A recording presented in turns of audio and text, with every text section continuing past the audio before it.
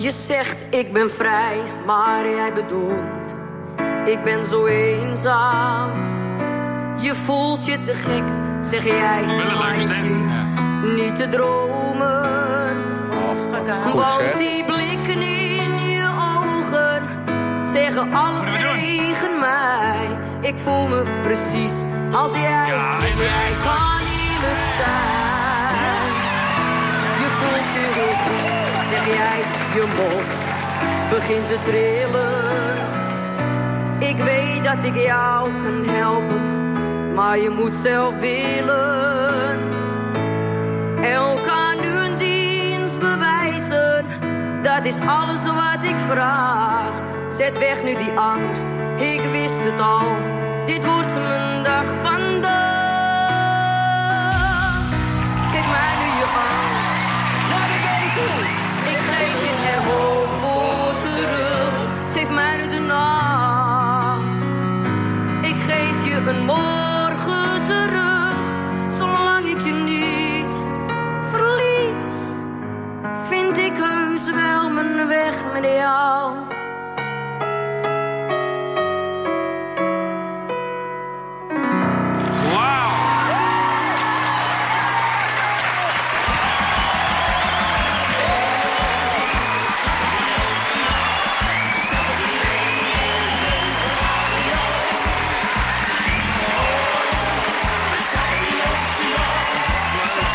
Sensationeel goed. Dankjewel.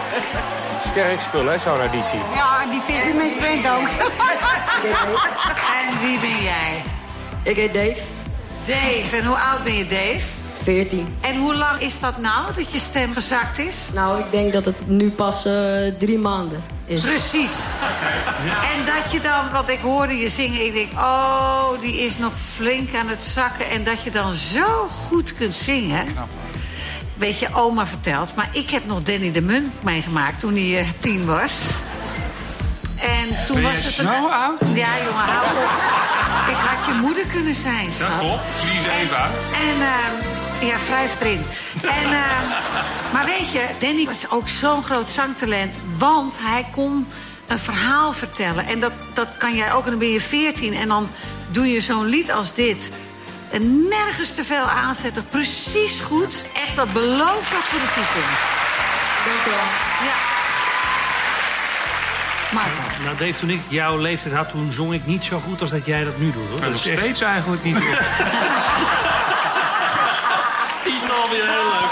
Ach, die arme Marco, hij gooit ze voor de pot en heeft het niet eens in de gaten. Wat jij kan... Kijk, er zijn heel veel mensen in Amsterdam die goed kunnen zingen... en die allemaal het eigenlijk nog groter maken. In de etalage zetten. Ja. En dan, dan komt er nog een krul bij en dan Ja. wordt het nog meer galmen. Zoals jij het nu doet, lekker, niet te... Wel dat Amsterdamse er doorheen hoor, dat is gewoon jouw ding, man. Het is zoals eh, André Haas het in zijn beste tijd deed, eigenlijk. Waar zou hij nou voor gaan kiezen? Compliment meegeven. Dat is mooi. Normaal gesproken zeg ik, waar zou hij voor gaan kiezen? Waar zou die Ja, waar zou hij nou voor gaan kiezen? Jongen, je bent echt een talent, Amsterdam. En ik denk de rest van Nederland is trots op. je. Dankjewel.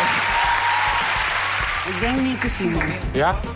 Maar, of, of Marco. Waarschijnlijk heb je je opgegeven voor de Voice Kids toen je nog zo praatte. Ongeveer. Nou, toen ja. was het al wel gaande. nou, het was wel gaande, maar het was nog niet zo. Oké. Je vecht je er goed doorheen. Het duurde bij mij wel, wel misschien twee jaar dat ik, dat ik gewoon echt eh, heel veel moeite had met de juiste hoogte te En vinden. nog steeds? Dankjewel.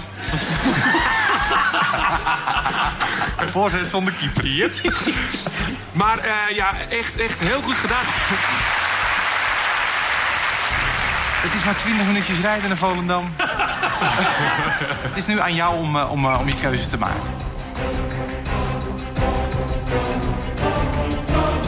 Ik kies voor jullie. Nick en Simon hebben de eerste buit binnen. Dave heeft de baard in de keul en heeft gekozen voor twee coaches die daar net overheen zijn gegroeid. Maar hij is een grote stap dichter bij de finale. Je leest alles over Dave en de andere talenten in de competitie op thevoicekids.nl. Nu is er in ieder geval genoeg reden om een onvervalst Amsterdams feestje te vieren. Waar zijn die handjes?